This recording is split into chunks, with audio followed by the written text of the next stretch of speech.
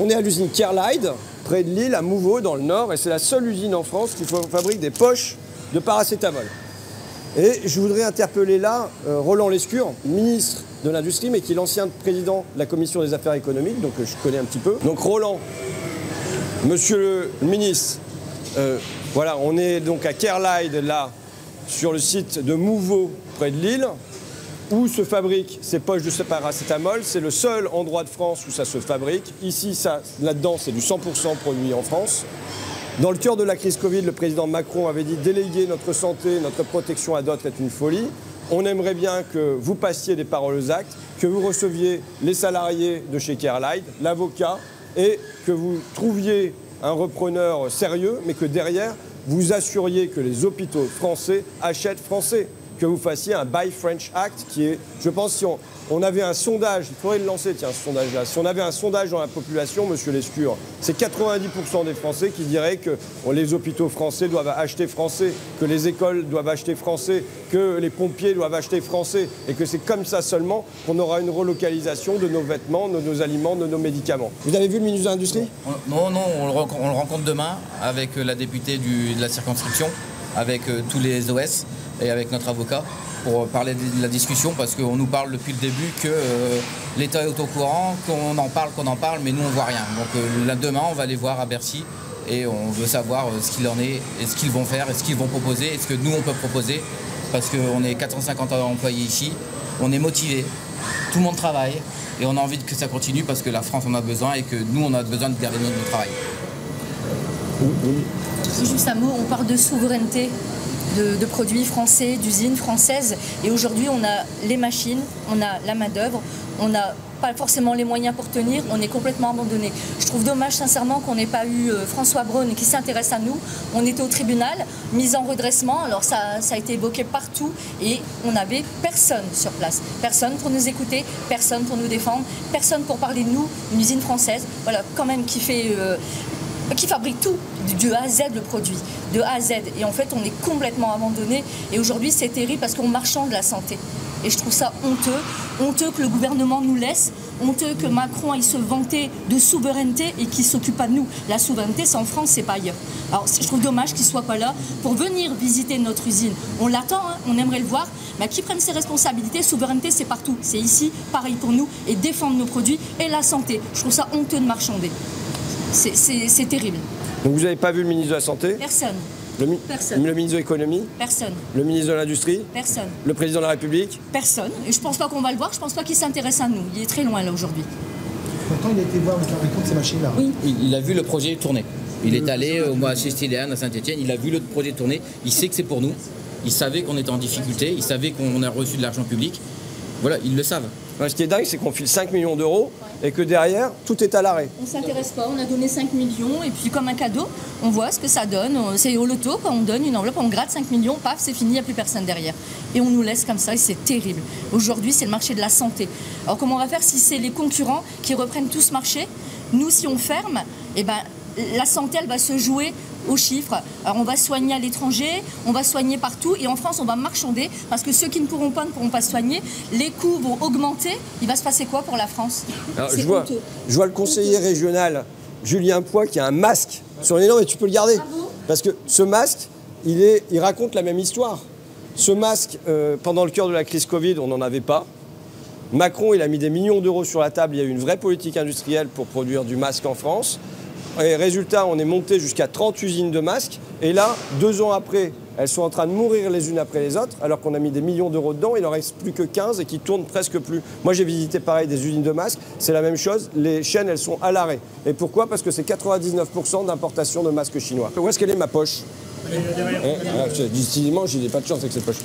Tiens, tu peux me tenir ça Sachant que c'est la même chose. L'intérieur, c'est du paracétamol. Et finalement, c'est la même histoire avec le paracétamol. Parce que Aujourd'hui, on est en rupture de paracétamol. Les médecins, ils ont l'ordre de dire à leurs patients de prendre un cachet tous les 8 heures à la place de tous les 6 heures pour faire des petites économies de raccro. Il ne faut pas que les, pharmaciens ils en donnent plus que deux boîtes. on est rationné sur le paracétamol parce que, de la même manière, 80% des principes actifs sont partis euh, à l'autre bout de la planète, notamment en Chine. Vous êtes intervenu au Conseil régional? Alors j'ai posé une question justement sur, le sujet des masques, parce qu'en fait on s'est rendu compte que dans les lycées de Hauts-de-France, 80% des masques venaient de Chine. Donc voilà, pour un président de droite qui veut mettre au cœur de son programme la souveraineté, la reconquête, la réindustrialisation, c'est un petit peu paradoxal. Donc on attend les réponses de Xavier Bertrand, mais en effet, euh, les masques qui ont été distribués aussi dans les collèges, je travaille dans un collège, c'était des masques qui venaient de Chine. Et les collègues des lycées ont eu, la même chose. Et on a eu des échos de coopératives, par exemple, en Bretagne, qui ont fermé. Elles produisaient des masques, elles n'avaient pas de débouchés, un peu comme ici euh, parce qu'il n'y avait pas la commande publique. Et nous, on dit aussi, au niveau régional, avec Cédric, euh, mon collègue, qu'il faut utiliser le levier de la commande publique au niveau de la région comme au niveau de l'État pour justement permettre aux usines de fonctionner. Et euh, c'est vrai que, bon, nous on a gagné quand même à l'Assemblée nationale, parce que les masques ils venaient de Chine, et à force de le pointer, de faire des vidéos avec ça, maintenant euh, les masques ils viennent enfin, euh, de France. Ouais. maître, on se connaît bien parce que on se connaît bien parce que malheureusement on fait les fermetures d'usines bien souvent ensemble.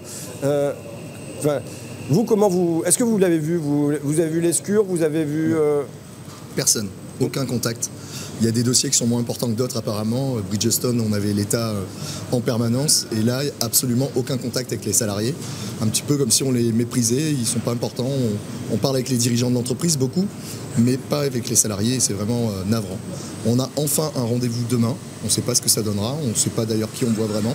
C'est pas le ministre, ça c'est sûr. J'espère que ça va avancer. Il y a urgence. Hein. C'est la date de limite de dépôt des offres, c'est le 5 janvier. Donc en clair, il nous faut un repreneur avant le 5 janvier. Qu'est-ce que vous... Si c'était euh, Roland Lescure, là, derrière la caméra, qu'est-ce que vous diriez? Appelez-nous vite. Très vite. Aux États-Unis, en ce moment, ils font le Inflation Reduction Act, je ne sais pas si vous avez vu. 400 milliards d'euros mis sur la table pour une politique protectionniste. Parce que les Américains, ils protègent leurs intérêts. Et nous, on regarde faire. On ne se protège pas. Euh, et euh, on ne fait même pas le Buy French Act, pour dire de, voilà, de protéger nos marchés publics. On ne fait même pas ça. Et on a peur de se faire taper sur les doigts à l'OMC. Moi, ce que je dis, c'est franchement, si l'OMC veut nous poursuivre, on verra bien dans 10 ans ce que ça donnera. je crois d'ailleurs que M. Macron a dit à M. Biden que c'était pas bien ce qu'ils faisaient en son pays. Ouais, mais c'est pas bien. C'est pas bien ce que vous faites. Mais ils le font quand même. Hein. Oui, oui, c'est clair. C'est clair. Est-ce que vous pensez qu'il faudrait un Buy French Act, euh, un euh, euh, obligé que les marchés publics, ils achètent français quand c'est possible d'acheter français Non, je pense qu'on devrait déjà nationaliser, c'est tout, garder nos produits, nos productions, nos usines en France et fournir nos marchés français, pas à 30%, être majoritaire chez nous ici, déjà en France, sur notre, sur notre terrain, et pas attendre qu'on ait besoin de se dépanner à la concurrence, parce qu'on n'a pas les moyens, parce que ça ne suit pas. Euh, à un moment donné, occupons-nous de ce qui se passe chez nous et pas ailleurs. Facile de donner des leçons dans les autres pays, et chez nous, tout abandonné. Et je trouve ça honteux. Et j'aimerais quand même que Macron se déplace et vienne et voit et qu'on lui montre, qu'on le fasse visiter, qu'on lui explique et qu'il nous donne des réponses pourquoi on en est là aujourd'hui et pourquoi l'État donne de l'argent et ne suit plus ses entreprises. Et je trouve ça, mais c'est terrible en réalité. On se demande pourquoi la France part comme ça à volo. On s'étonne. Qui s'occupe de nous et après il ira voir ailleurs ce qui se passe ou donner des leçons. vous, me disiez tout à, l'heure, quand on marchait, euh, en Allemagne, la boîte allemande, euh, les Allemands, ils achètent 100% allemand. Moi, c'est ça que je, reproche, c'est-à-dire que nous, en France, on est ouvert à la concurrence, alors que l'Américain qui, qui, fabrique en Belgique, lui, a presque 100% du marché belge. Frésinus, qui, fabrique en Allemagne a presque 100% du marché allemand et nous on n'arrive pas à avoir 100% du marché français. Vous avez 30% On a 30% et encore on rame hein, pour les avoir les 30%. Et on, on vend à perte. Et c'est pour ça qu'on est dans cette galère. Non, j'allais dire, donc éventuellement, éventuellement, si vous pensez que c'est stratégique, l'État il doit reprendre l'entreprise aussi bah, Il pourrait, oui, reprendre, nationaliser, parce qu'on joue sur des appels d'offres aujourd'hui. On n'arrive pas à tenir avec les concurrents qui nous écrasent. C'est impossible.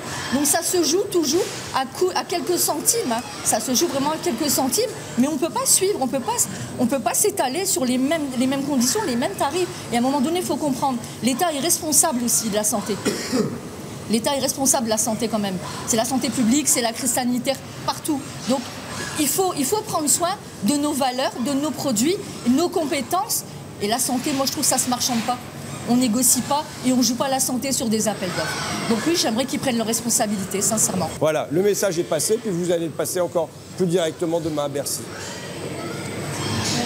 Merci pour l'accueil ici. en tout cas. à vous.